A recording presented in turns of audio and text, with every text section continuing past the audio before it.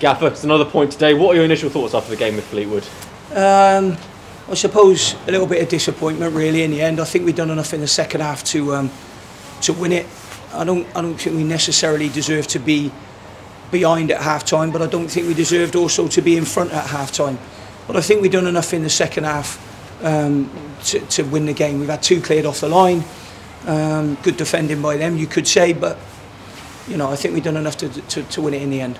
Is that disappointment of not getting the three points the general feeling in the dressing room after that one? Is the thinking that we could have got more? I probably think that's how, how the players are thinking. Um, I did say to him earlier in the week that you know this is going to be a different Fleetwood side, not not only in personnel because they've strengthened, but also in attitude because we won the game up there and won it well. Um, they were going to be ready, and um, I don't think the boys uh, didn't listen, but I think that they were ready and, uh, for the game today.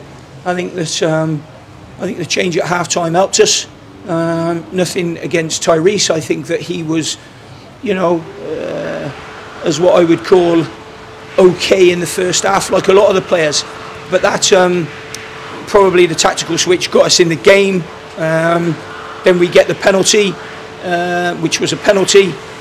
And then I think, well, like I said, with a couple of chances that were cleared off the line, you know, I think we deserve to win the game in the end. Would you say that that Fleetwood attitude that they had, did that affect how they lined up, how they played, and then also, is that what you expected from them? It didn't affect how they lined up. We said in the week we thought they might come and play 3-5-2 because they played 4-3-3 against us last year. Uh, last year, last game that they had at home, sorry. Um, and it might have been last year anyway, I might have been correct with that. Yeah, yeah it was last yeah, year because it was the 26th, so okay. Um, so formation wise, I thought that that might happen and they might change. Um, attitude wise, you know, sometimes when you've you've been beaten at home like they were, then they come and they're a little bit more fired up for it. Um, and then that can lead to a little bit of apprehension in your own team when things don't go right. I thought we started the game really bright. Probably should have scored, didn't.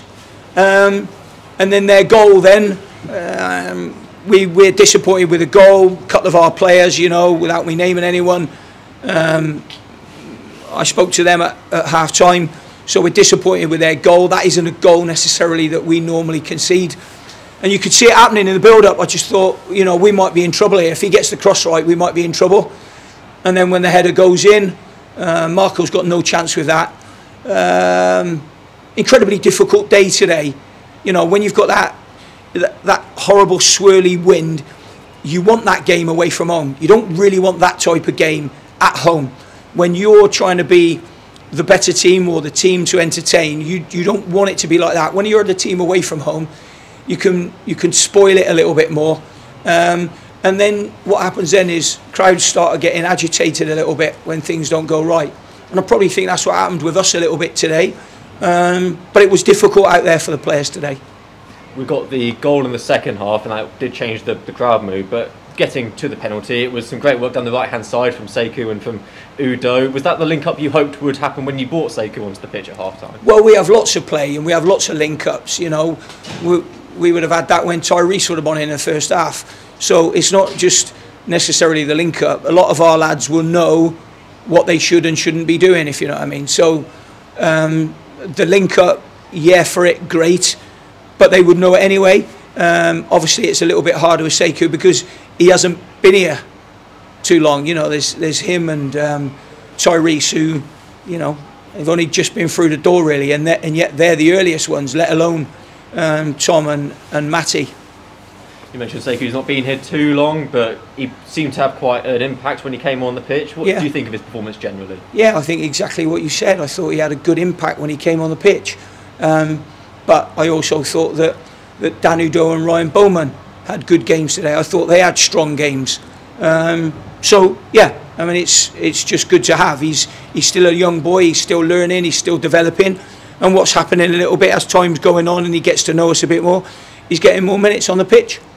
Um, but the, the mood changed at the, into the second half after well, we got the it, goal. It, and it, it, does, doesn't it? You know, at the end of the day, I think the lads have given um, the home supporters here plenty to cheer about this year. They've seen plenty of good football, plenty of good victories. Um, and then and then you know I think that there's um, perhaps a little bit of disappointment when, you know, perhaps if they get booed when they come off at half time, I don't, I don't think they deserve to be booed when they come off. Um, but we soon put that, put that score right early in the second half. So, yeah, I'm, um, I'm pleased for the lads with that. And uh, the after that goal, it seemed almost one-way traffic in our favour. And then, as you mentioned, the two goals cleared off the line. Could you say there's another element of just not one of those games where we needed just a little bit more luck as well? Yeah, I think it was good defending by them.